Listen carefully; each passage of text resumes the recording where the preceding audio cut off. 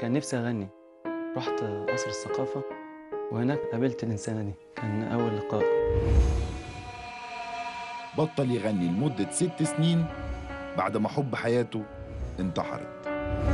خلال حوالي ست شهور كنت مرتبط بيها جدا وارتبطنا لحوالي خمس سنين. وبدأت قصة حب كبيرة جدا يعني. كنا في مشكلة مع بعض بنتكلم. فقالت لي آه، خلاص يا رب أموت. فأنا رديت قلت لها ماشي أو حاجة زي كده يعني مش مهم بالنسبة لي. وفي لحظة غضب فوجئت إن الموضوع اتطور وفعلا نفذت التهديد ده.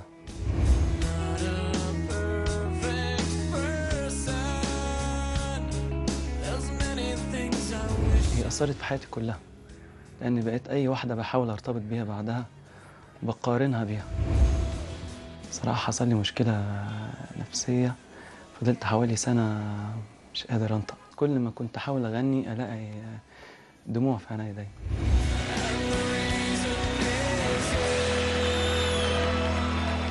بتغني قبل كده؟ غنيت؟ آه. تحب الالحان الحزينة ولا الفرحة؟ لا أنا ميل الحزن شوي. آه ليش؟ ميال للحزن. ليه الحزن؟ يعني تجربة حب فاشلة.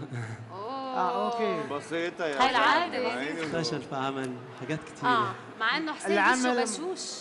مع لاحظتها وشك فعلا وشك. مبتسم بيشبه وحلو. بروسلي يعني عن جد مش عم بمزح بيشبه بروسلي الله يعوضها خير إن شاء الله. تفضل. زي الهوى يا حبيبي زي الهوى. من الهوى يا حبيبي من الهوى وفي عز الكلام. سكت الكلام وتريني ماسك الهوى بإيديا ماسك الهوى. وقام الهوى يا حبيبي وقام الهوى يا حبيبي.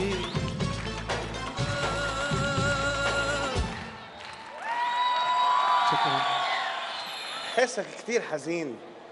حزن كثير بس هو عليه. يعني يعني يعني عنده كأنه عم يعني عم بس يعني. صرت أنا حزين كثير حسيت إنه مسيطر على صوتك أحمد. في عندك سيطرة على صوتك بتغني صح وفي عندك إحساس.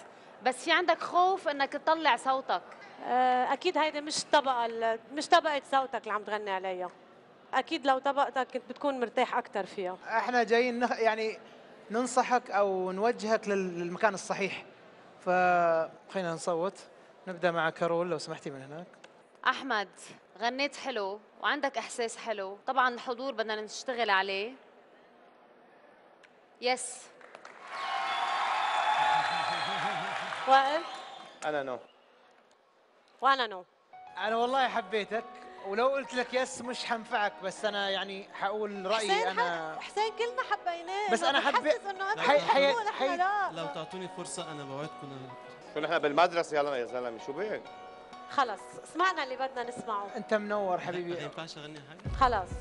آه، الله يعطيك الصحة والعافية شكرا anyway شكراً، وحدة yes ثلاثة no شكراً. ف شكرا. أنا أعتذر منك. شكرا. ميرسي